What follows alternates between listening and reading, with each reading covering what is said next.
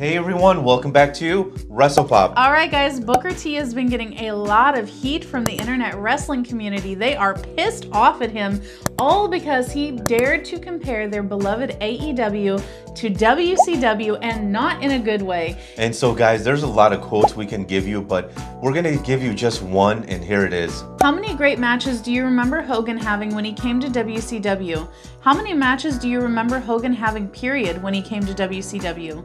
What we gave and what we got in return, did Hogan save WCW? Those guys came in with contracts where they had creative control, they were getting paid more money than all us guys that have been there all those years, they jobbed everybody out, they had it in their contracts that they couldn't lose.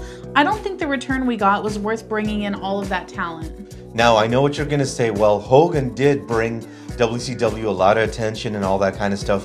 But I think it's safe to say over time, Hogan and some of these other guys, because of the fact they always wanted to stay on top, they didn't really help the younger guys. And I think that his I think his point here was that sure Hogan initially was good, but he should have been shown the door maybe after a year or two years or something like that. And that way the younger guys they could have had like the spotlight on them because if you guys remember back in the day, they had Steve Austin, they had Booker T, they had Chris Benoit, Chris Jericho, and on and on and on. They had like dozens of great wrestlers. But unfortunately, thanks to guys like Lex Luger, Macho Man Hogan, and the list goes on, a lot of these younger guys didn't get the spotlight they deserved. Because look what happened. They went to WWE, they became main eventers.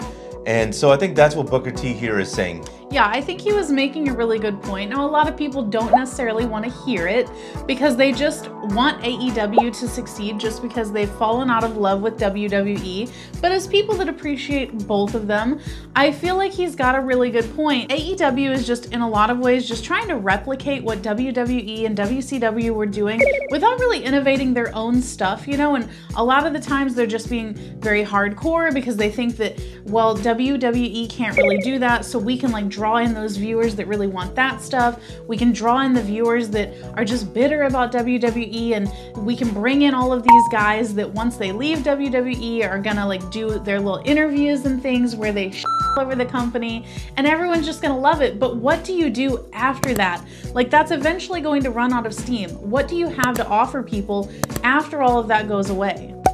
All right, guys, that's the video. If you like what we're doing here, definitely check out our other channel, 5 Minute Eats, and don't forget to give us a like and subscribe.